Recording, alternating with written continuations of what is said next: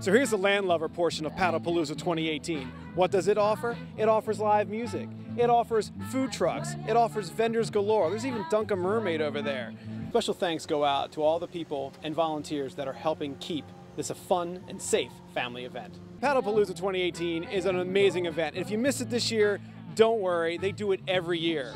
So basically, get yourself together for 2019. I'll see you there. Make it so.